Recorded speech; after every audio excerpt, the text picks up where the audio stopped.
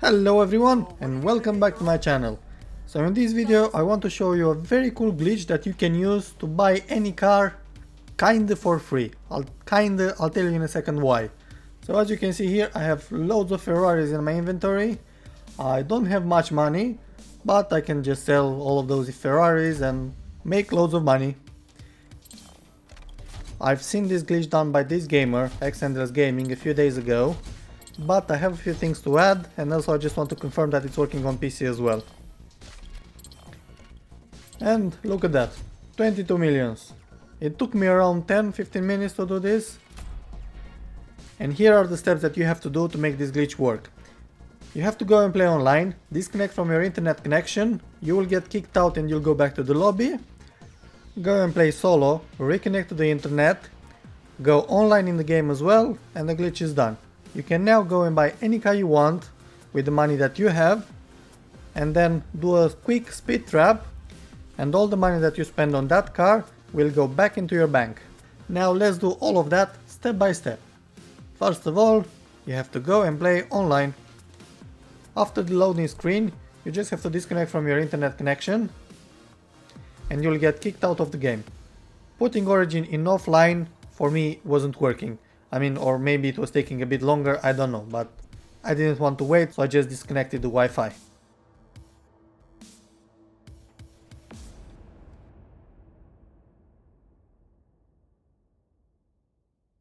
You will get this error with connection lost, doesn't matter, don't worry, just go and play solo.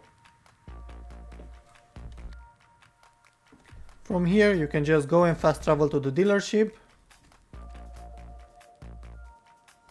Here is the speed trap that you'll have to do after this. Like and after you fast travel here, you can reconnect to the internet. Go online in the game as well.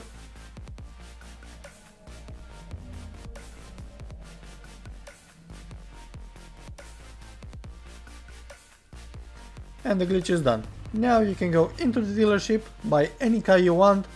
I'm going to buy the most expensive one because I have money to spend, which I actually earned doing this glitch anyway. You need to have enough money to buy the car that you want.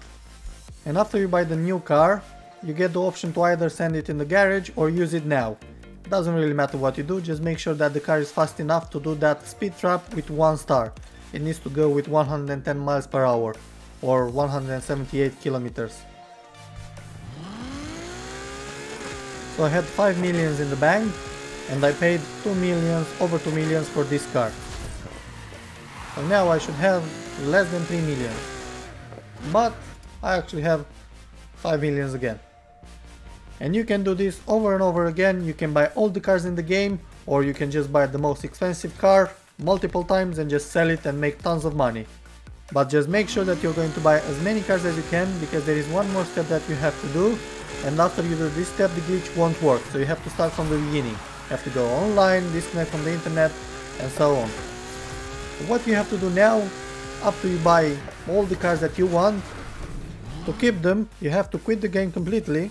Don't just go back to the lobby because if you do that you're going to lose all the cars that you bought except the first one and the money for that car so quit the game go back in it. You're going to get one error here This one, don't worry, it's not important, just press OK.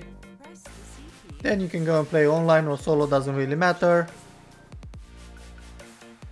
You'll have to synchronize your local inventory with the online one, so you can play online. Just press yes.